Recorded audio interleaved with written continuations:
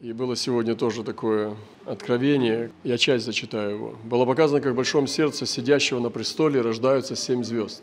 Затем, когда они выш... как они вышли из его уст, одна за другой даны были подобно Сыну Человеческому, который взял их в правую руку свою. Затем было показано, как подобный Сыну Человеческому дал от света семи звезд в сердца людей, избранных им. Свет от каждой из семи звезд вошел в сердца этих людей – чтобы они были их служителями рядом с их ангелами. Было показано, как прошли свой путь несколько служителей этих семи звезд рядом с их ангелами, которые вошли в сияющую славу, подобного Сыну Человеческому, сидящему на своем престоле. И были показаны служители России апостольские, которые, пройдя свой путь служения, внесли свой вклад в служение от света семи звезд. Ну и дальше пошло по преемственности – и на нас, и от нас, и дальше. Этот свет распространялся все дальше и больше, уже не только через уста Божьего человека, и через, но и через уста людей, в которых этот свет вошел. И таким образом свет семи звезд все больше умножался на земле. Еще одно. Сильный огненный вихрь с восточных ворот, который был соединен с небом. Он был устрашающим.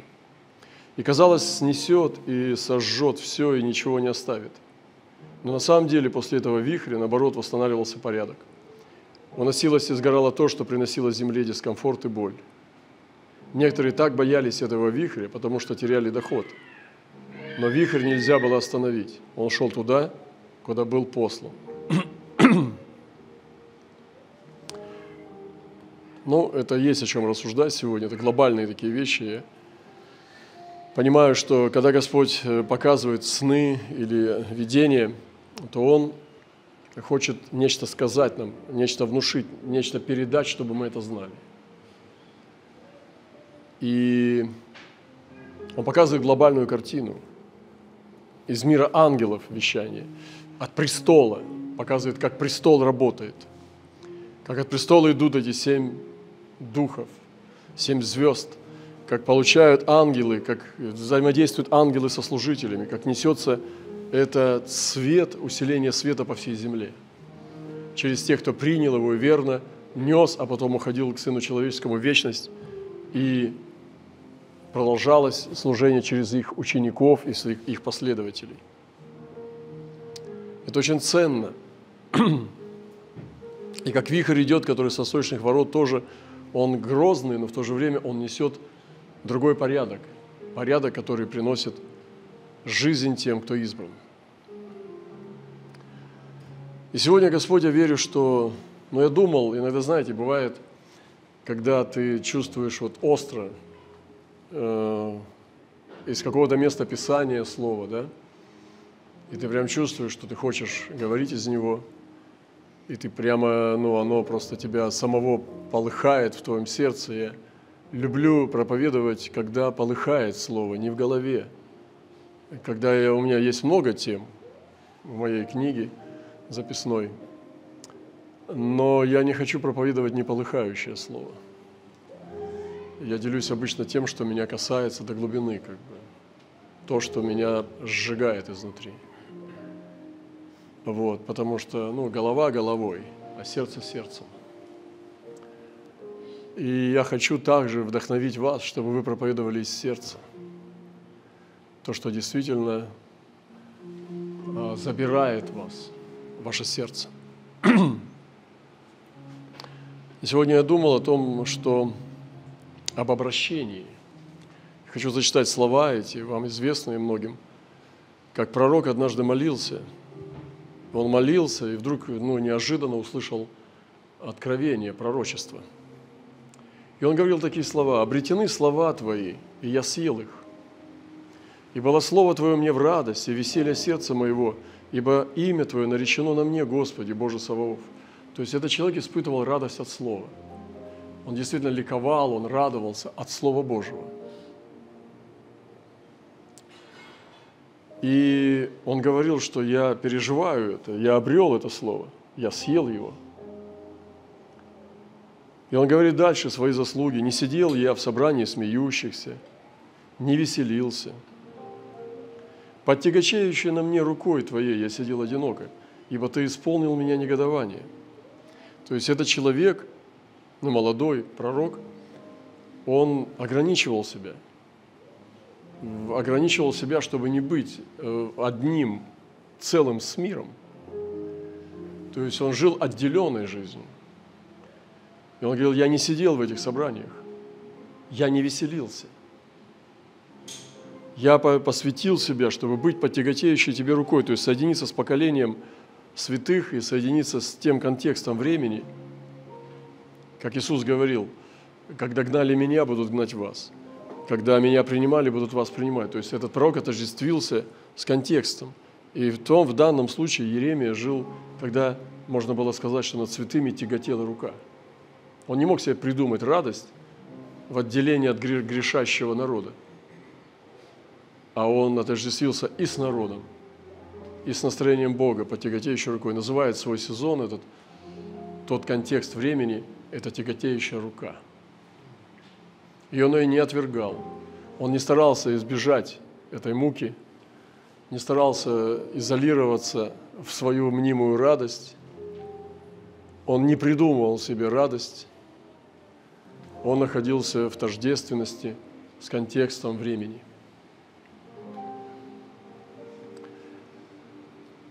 За что же так упорно болезнь моя, он спрашивает. Но почему мне так плохо? Рана моя так неисцельна, что отвергает врачевание – Неужели ты будешь для меня как бы обманчивым источником, неверной водой? То есть здесь он начинает уже изливать вот самые глубокие вещи. Да, сначала он говорит правильно, а потом он начинает говорить честно. И это очень важно, чтобы перейти от правильности к честности.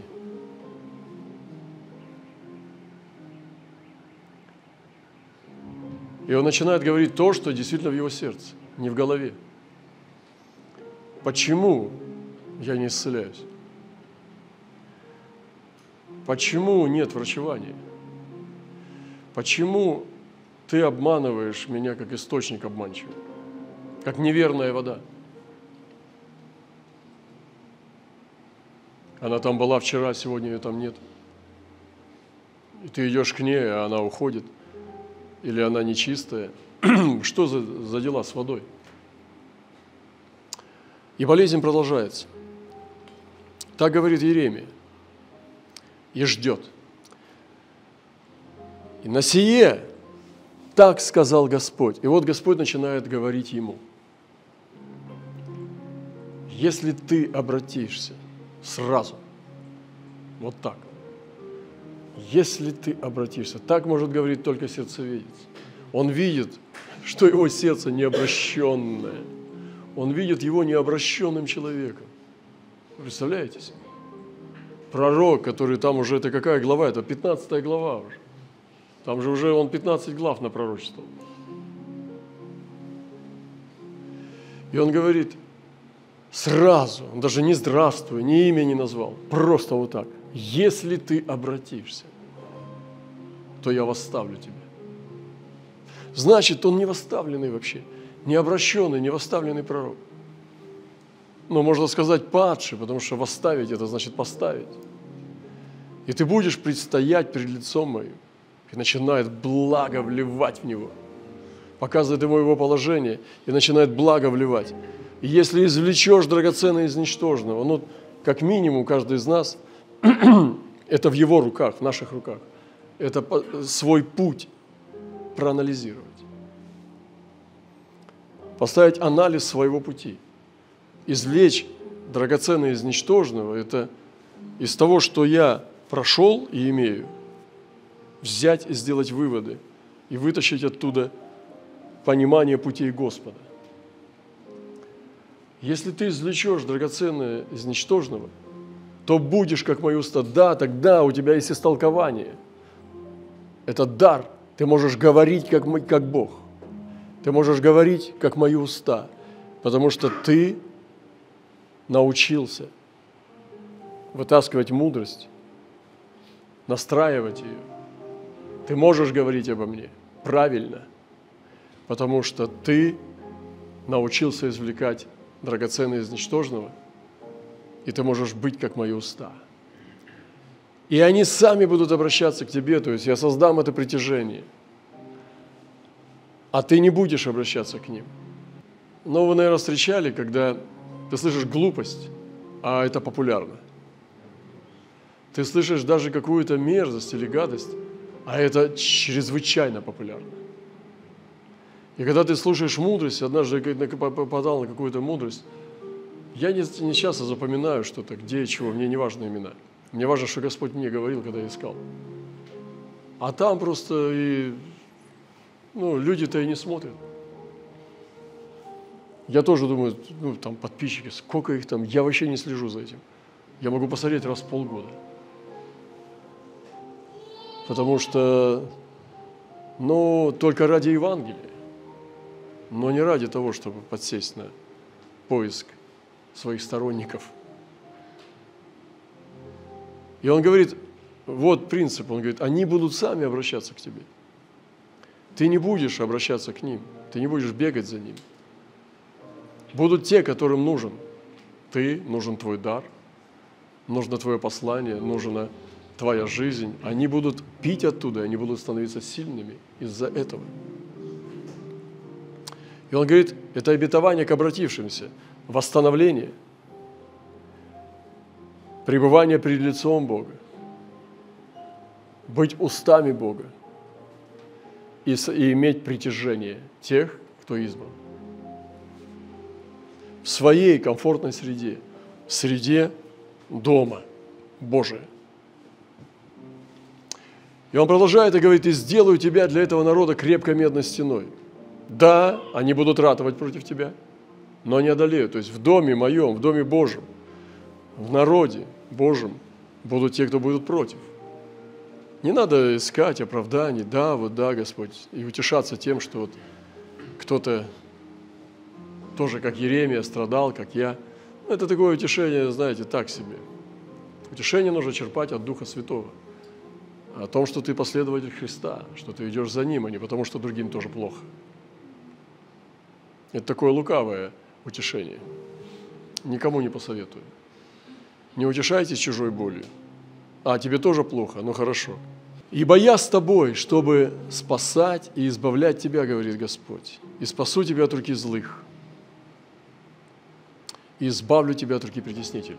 Ну, эти обетования я не буду сейчас разбирать, то есть, ну, так вот, если кратко, что ты будешь крепкой стеной, ты победишь сопротивление. Господь будет с тобой всегда присутствовать. Он тебя избавит от руки злых и от притеснителей, то, что ты будешь ходить в духовной свободе. Знаете, духовная свобода – это самая высшая свобода. Я уже говорил об этом, как слышал потрясающее высказывание, что Бог всегда на стороне свободы. он избирает сторону свободы. И мне э, кажется, что сегодня я думал о том, что можно ли всецело обратиться. Что такое вообще всецело обратиться? Что такое всецело предать всю свою жизнь Богу?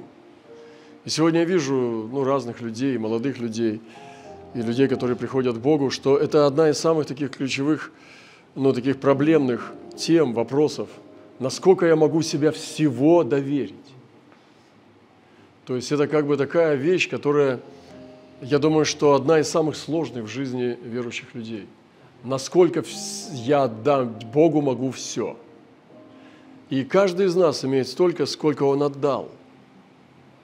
То есть практически ты открываешь меру, и он заполняет собой столько, сколько ты подставил. Помните, Руф дала этот фартук, ну, то есть подол, и он навалил туда шесть мер этого зерна. Число человеческое. Давид говорит, о, это уже по-человечески, Господи, это уже по-человечески. То есть та любовь, которая самая высшая, он ее оценил человек и вместил и прославил. Я просто хочу сегодня вдохновить нас, но это не просто вот проверить, да, можно так сказать, банальные такие вещи, проверьте себя, насколько вы отдали себя Господу. Но это такие абстрактные вещи. Это не просто вообще. Мне кажется, что это не просто. Вот я начинаю испытывать свою внутренность, насколько я доверил Богу себя, насколько я отдал себя Господу. Могу ли я быть вот там, вот как бы, э, каким-то примером или вдохновением, чтобы люди могли также служить и также идти и так далее. Э, но это непросто. Но мне кажется, что здесь именно ключевой вопрос. Насколько мы всецело отдались Богу. Я считаю, что это и есть обращение. И вот Господь говорит молодому Иеремии, этому юноше, который сначала отказывался быть пророком. В первой главе он отказывается, и Господь его настаивает, что ты для этого рожден. Что прежде ты еще вышел из утробы, я уже тебя для этого поставил. Я уже осветил тебя там. Ты для этого рожден, Еремия, страдать. И написать потом книгу «Плач Еремии», как почернело, потускнело золото, как почернел город и так далее. Все это надо, надо будет потомкам, миллионам людей будут нужны твои послания. И он соглашается быть этим знамением, то есть человек знамения, как Иезекииль тоже. Соглашается жить не для себя. То есть я представьте себе, что если в Еремия хотя бы кусочек стал жить для себя – мы имели ли мы бы те главы книги Иеремии? Наверное, нет. Я уверен, что нет. Если бы Иеремия согласился иногда слушать, а иногда не слушать, если бы он согласился делать карьеру где-нибудь там, ну, где-то в Синедрионе, чтобы тоже быть как первосвященником, стать там, двигаться среди элиты. Ну, представьте, или бизнес развить хороший. Там он что-то у дяди купил поле, но это Господь ему сказал. Но Представьте себе, чтобы Иеремия не, не посвятился. Я думаю, что после этой 15 главы радикальная прошла перемена с ним. Это вот я зачитал вам 15 главу Иеремии. И я верю, что Иеремия обратился. И он дальше стал служить на таком серьезном уровне. В яму его погружали. И он гонения нес, и потом с, народом страдал, и в Вавилон пошел ради народа. Хотя ему давали хороший дом в Иерусалиме, в святом городе остаться, дом от Бога, слава Господу, Господь, ты печешься о мне, ты там дал мне квартиру дешево или бесплатно. Нет, он сказал, не, не, не надо, я разве ради дома живу. Мне нужно идти с народом, я буду там с ними, я буду ободрять народ, я буду пророчествовать, я буду среди них. То есть человек, который действительно обратился. И вот для тебя что значит по-настоящему судьба посвященного человека Богу? Вот это ну, я встречаю часто это. это. Это вообще я хочу сказать вам, что вы успокойтесь. Это не, не только про тебя, это про, вс- про многих. Это распространенное явление. Если вам легче от этого будет, то держите. Когда человек все-таки, он посвящает себя, ну, дает ему часть, допустим, ну, он дает там, ну, допустим, начнем с малого. Я даю, да, даешь три вечера в неделю. Кто-то говорит, да, я четыре вечера даю. Но такой торг идет, да, такой позорный. Вот, и у меня там все вечера забрали. Там, да подожди, кто у тебя забрал вечера? Ну тебя же не заставляют, там, что ты, там у тебя вечера забрали. У тебя, ты душу потерял. Ты, ты говоришь как торгаш. Ты торгуешься, ты говоришь как торгаш, потому что человек, который посвятил сердце Богу, он никогда не будет считать вечера. У него, у него другие как бы, категории, у него другие, другой сленг, другой язык вообще, другие, другие символы. И он начинает, вот у меня забрали все вечера. Так не ходи ты, кто тебе не запрещает. Еще что утром молиться буду? Да кто тебе заглядывает туда в спальню? Что-то молиться не Ты же так не молишься уже все годы. Когда мы торгуемся, и мы не изведем все до 30 серебряников, оно дороже не будет. Все равно больше, чем 30 ты не дашь. Потому что Бог очень... И вот мне говорят, Бог потрясающий бизнесмен – и мне кажется, что Бог вообще бизнесом не занимается. Он создатель, он не бизнесмен. И он сердца наши ждет и ищет.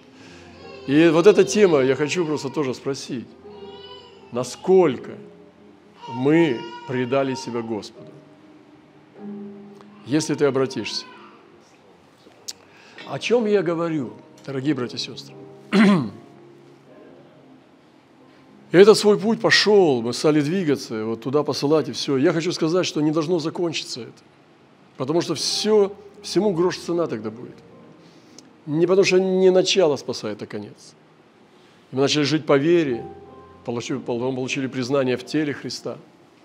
Не среди конкурент, конкурентных, конкурирующих церквей внутри маленького города, а среди тела Христова – И вот что такое посвящение, что такое обращение? Насколько я могу действительно сказать, что я обращенный? Насколько я могу всю жизнь прожить, предавшись Господу? Вы понимаете? Я не говорю даже, ну, карьера, бизнес, деньги, счастье детей, все вот это вот. Можете ли вы вот это все собрать и доверить Господу? Это не значит, что нужно сидеть, ничего не делать. Нет. Но вы понимаете, внутри сердца, доверился ли ты, обратился ли ты к Господу по-настоящему, безропотно, приняв от Него то, что принял Еремия. Это у него же тяжелая жизнь была потом. Он же доверился, там даже про семью про его не написано. А Варуху вообще сказано, я тебе жизнь подарю, и все, это его писец. Вот какое твое имя? Насколько ты обратился? Какие твои амбиции вообще в Господе? Да? Не можно ли назвать человеком, который всецело вот тебе хватит? Тебе достаточно того, что ты пришел ко Христу, и тебе довольно, чтобы быть спасенным человеком, что вот это вот звание Сына Божьего или дочери Бога, дочери Отца, довольно ли для тебя этого, что ты пришел к Богу? Вы знаете, это ну, очень серьезно. И мне кажется, это ключевая сейчас вещь, которая для меня важна тоже. Довольно ли для меня? Нет, я буду делать, я буду биться до конца. Но дело не в этом, это все можно исполнять. А жить другим. А действительно ли я обратился, что для меня вот это является самой большой ценностью, что я не хожу в церковь, что я в царстве сердцем своим обитаю. Все, у меня совершилось. И с самого начала вспоминаю, когда я был юношей, знаете, вот так жизнь всю вот так пролетела, как метеор. Вообще, я как был пацаном, по-моему, еще даже глупее стал. Но вот этот опыт, это все ерунда. По-моему, даже вот, ну, если честно, умнее не стал вообще. Человек мудрее не становится. Время не делает его мудрее. И опыт тоже. Мне кажется, что все дело в близости. В близости с Господом. И вот чтобы мы дошли до конца с вами – и вот я сегодня хочу сказать вот эти вот слова, что предаться Господу всецело можно. Ты можешь предаться Господу. Ты можешь доверить Ему свою жизнь. Не бойся это. Это прыжок во тьму, туда в бездну. Но нужно прыгнуть однажды. Если ты не прыгнул ни разу, щупаешь ногой эту холодную пустоту, ты ничего не нащупаешь. Надо вторую ногу туда. Мне нет кого бежать теперь. Бежать неоткуда. Мне только надо догонять. К нему только бежать. Не от кого-то, а к чему-то, к кому-то.